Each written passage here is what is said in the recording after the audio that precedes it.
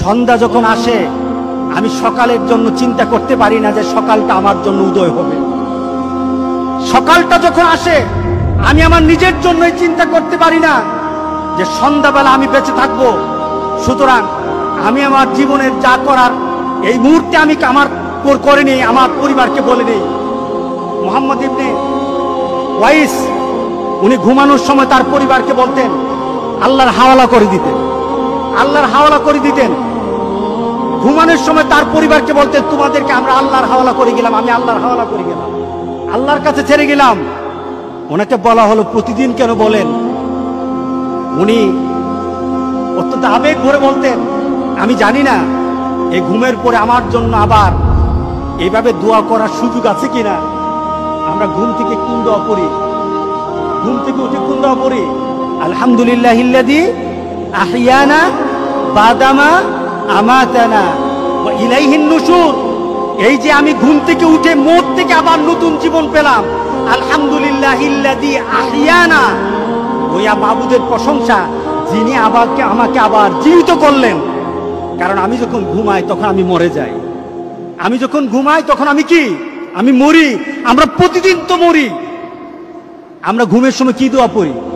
আল্লাহুম্মা বিইসমিকা আমুতু ওয়া আহিয়া আপনি কি ঘুমাইতেছেন না মরতেছেন? বলেন। হ্যাঁ? আবার দেখি আপনাদেরকে পরীক্ষা নেই দুনিয়া আপনি কি ঘুমাতে যাচ্ছেন নাকি মরতে যাইতেছেন? আপনি ঘুমাইতে যাইতেছেন না, কিন্তু দুয়ার মধ্যে কি বলতেছেন?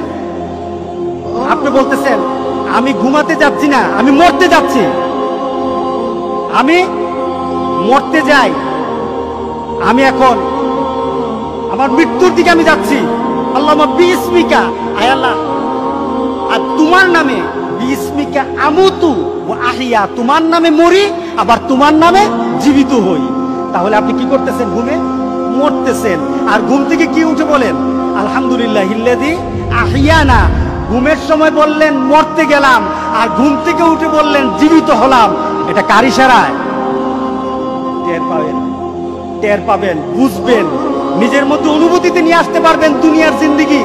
আপনি তো প্রতিদিন মরেন, আমি তো প্রতিদিন মরি, আবার প্রতিদিন জীবিত হই। এইভাবে যদি নিজেকে চিন্তা করি, ইনশাআল্লাহ আখেরাতকে টার্গেট করা আমাদের জন্য সহজ হয়ে যাবে।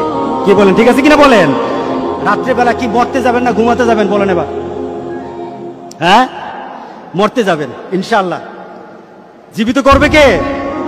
জীবিত। এই চিন্তা যদি আমাদের মধ্যে চলে আসে, ইনশাআল্লাহ জীবন পরিবর্তন হয়ে যাবে। আল্লাহ যেন আমাদের জীবনকে আখেরাতমুখী করে দেন? আমাদের টার্গেট যেন আল্লাহ আখেরাতমুখী করে দেন। আমাদের চিন্তা চেতনা যেন আখেরাতমুখী করে দেন।